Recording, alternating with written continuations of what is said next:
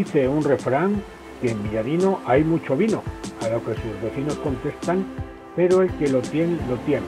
Sí, Villarino de los Aires ha sido siempre, incluso más allá de la comarca de la Ribera, el pueblo del vino. De hecho, este municipio tiene totalmente vigente la cooperativa dedicada a la producción vinícola más longeva de las Arribes, la cooperativa del Campo San Roque, fundada en 1962. Además, Villarino posee el único museo de las Arribes dedicado al vino, como también de su ayuntamiento partió la idea de crear la ruta del vino Arribes, aunque su verdadera joya son sus bodegas tradicionales, excavadas sobre roca y sustentadas con grandes arcos de medio punto realizados en granito, toda una cultura de siglos donde Baco se hubiera encontrado como en casa. Pero si el vino ha sido y es un elemento representativo de Villarino, no lo ha sido menos y es el agua, pues su término municipal está surcado por riberas y regatos mil que buscan los cauces de los ríos Tormes y Duero, que abrazan sus laderas un día llenas de majuelos. Y en todos estos cauces se llegaron a contabilizar más de una veintena de molinos que sirvieron para moler trigo, cebada y centeno en momentos de abundancia de lluvia. La importancia del agua en Villarino es tal que hace 48 años se concretó con la primera central hidroeléctrica del sistema Duero, capaz de bombear agua a través de seis grupos generadores tipo Franklin,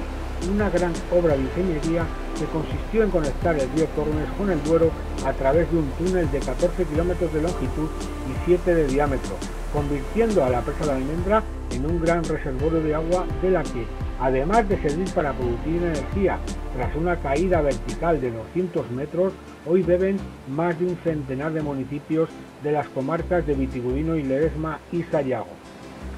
Volviendo al carácter etnográfico que Villarino conserva respecto a los molinos que facilitaron la vida de sus gentes hasta mediados del siglo pasado, hay que comenzar con el molino de Fuente la Rede, con el nacimiento de la ribera en la Trabanquina, pasar a los regatos del Sade o Zarapaya, sí, en ese mágico rincón donde dicen que las brujas cruzaban las hileras y atravesaban los zarzales para asistir a sus aquelarres, y por supuesto los situados en el Tormes y en el Duero, así hasta 23, aunque de los del Gran Río apenas quedan sus pesqueras, la mayor parte del año sumergidas por el agua que acumula la presa de Alladávila, pues su recula llega hasta ambas aguas. Del Tormes, aguas arriba del regato de Baldosa, más arriba de Zarapayas y antes el Sade y antes el Corzo, vuelven a verse aún los restos de varios molinos y sus acequias, los más visibles el de Arnales y Monleras y el más importante el de Vendemoro, que fue fábrica de la luz. Por ello, en estos días de pandemia, en los que lo único que podemos hacer sin riesgo de contraer la COVID-19 es disfrutar de la naturaleza, no es gratuito proponer un recorrido por estos caminos del agua en Villarino, un paseo por esos rincones, la mayoría desconocidos y que merecen ser descubiertos, parajes como el desgargadero y el pequeño pozo de los humos que se asoma Vendemoro,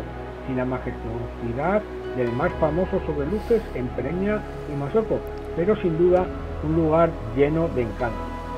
Es visita obligada estos días de febrero o siempre el Molino del Pasadero, rehabilitado ya hace unos años y que forma parte de una ruta autoguiada entre Zarapayas y desde este es necesario bajar hasta Ambacaguas para ver los de Menchorico y de Cardico en el Torme, paraje en el que finalmente se entrega el Padre Oro, con sus aguas estos días un poco más turbias como consecuencia de la crecida por las lluvias. Con un poco de suerte también se puede apreciar los aliviaderos de la presa de Benposta vertiendo 950 metros cúbicos por segundo.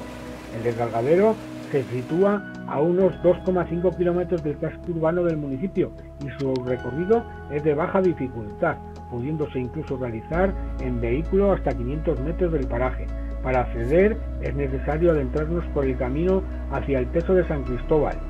No dejaremos el camino hasta encontrarnos con una bifurcación situada a 700 metros, que tomaremos a la derecha. Desde este punto habrá que recorrer 1,5 kilómetros donde encontraremos